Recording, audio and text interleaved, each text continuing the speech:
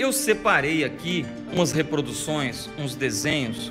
Ó, esse primeiro. Isso é uma guada né, de nanquim com bico de pena. Esse desenho aqui ele fez a plenar.